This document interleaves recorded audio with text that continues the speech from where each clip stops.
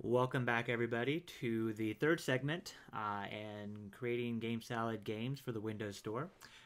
For this segment, I'm going to talk about uploading our GameSalad app package to the Windows Store.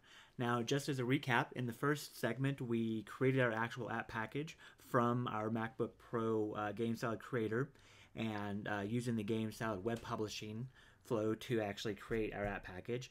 Then I jumped over into a Windows 8 environment in order to test my application, uh, sign it, uh, so that I could test on either a Windows 8 device or a Surface RT device, and um, so that I could also run the Windows App Cert Kit, which will do some of the automated tests that um, can alert you to some of the things that may cause a, a failure during the review process um, that are very easy to, to solve and fix.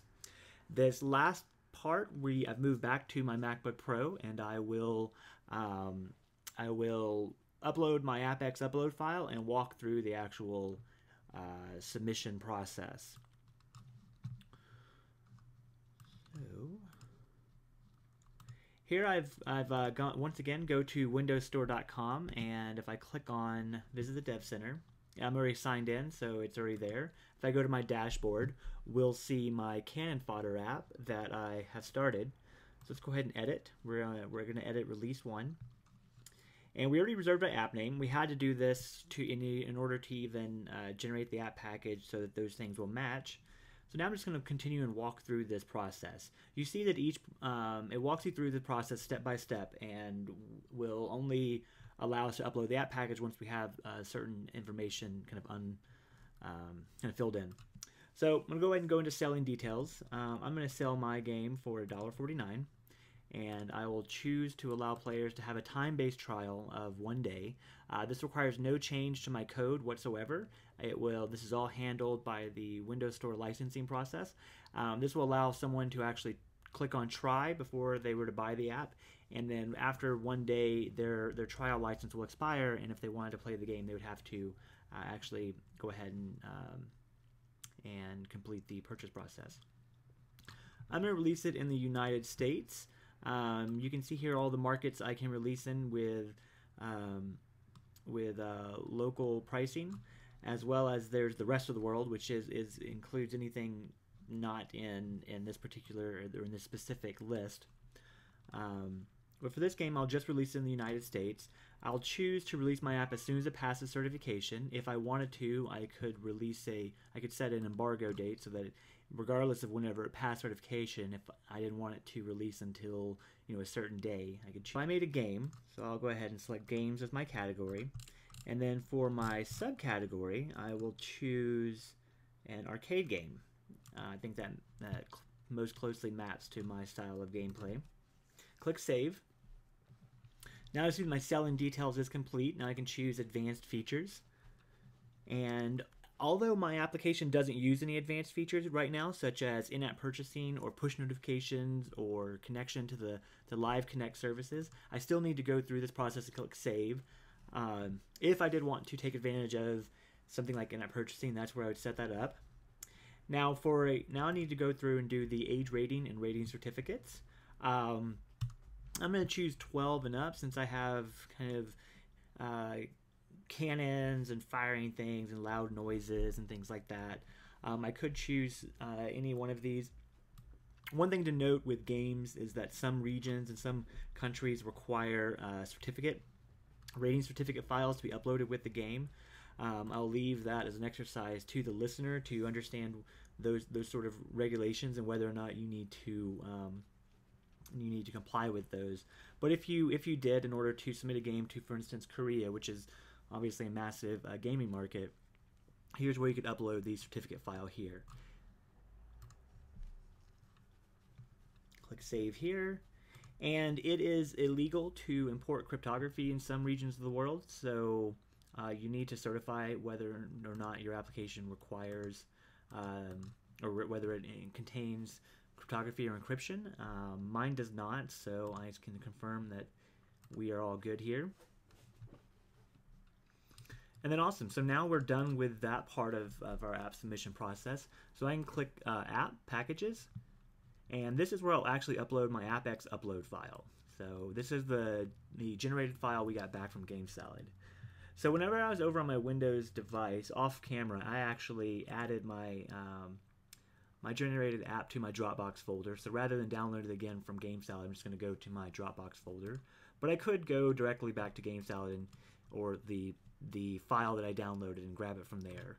But I'm going to take this AppX upload, upload and I'm going to just drag and drop into here.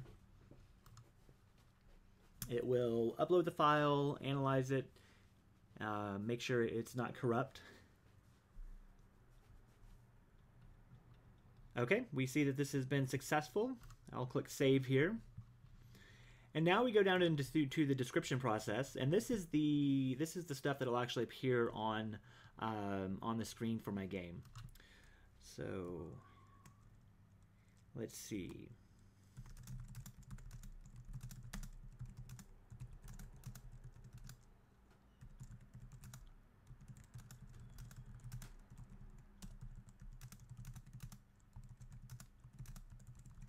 I'm not going to make you guys watch me type all this stuff, but I would recommend that you make your description very descriptive, be, be uh, verbose here, and um, make sure that it describes the gameplay.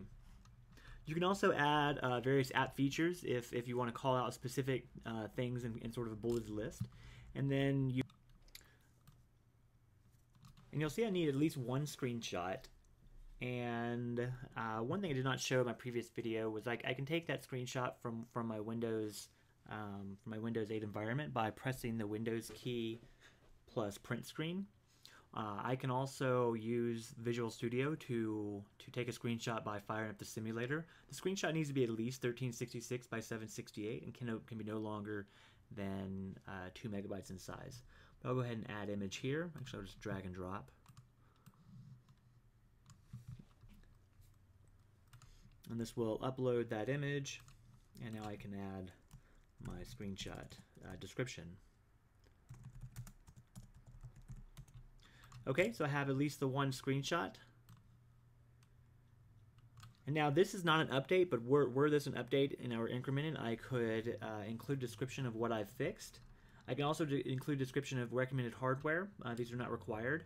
And then I can include keywords. Now these keywords do not appear, but let's say if I wanted my app to always show for cannon, if I wanted my app to show up if anyone searched for GameSalad within uh, within the Windows Store. Here I can uh, do copyright and trademark info. I usually copy here so I can get my little copyright symbol.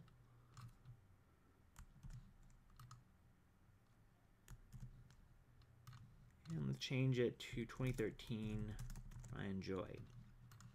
If I needed to do additional licensings, I could uh, but I do not need to. If I wanted um, our the Windows Store editors to be able to use my app within an editorial or, or within some sort of uh, focus um, uh, page on, on, in the Windows Store, I could add, add promotional images here. Um, I don't have any of those created right now, so I won't.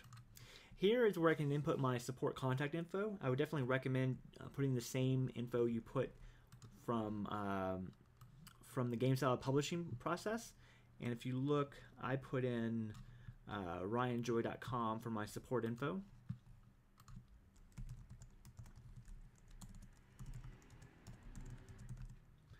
And for my privacy policy, I put in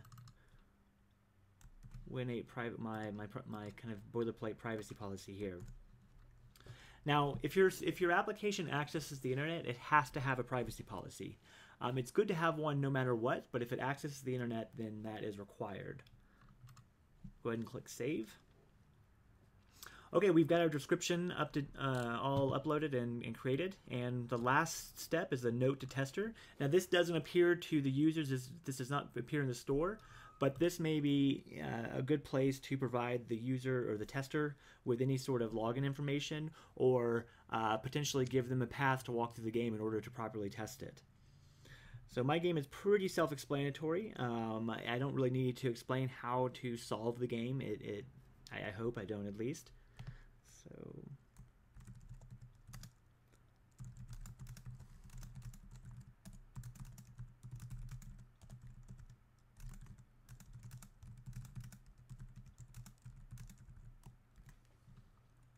Cool. And now we are all good. And so what I can do now is I can uh, review anything if I needed to, or I can submit for certification.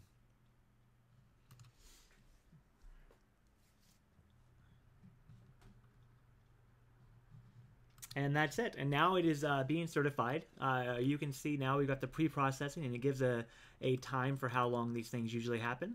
And once this is all done, you'll get an email that says uh, your app is in the store. Excellent. Well, thank you very much, and uh, please find me in the GameSalad forums at ATX Ryan or on Twitter at the same.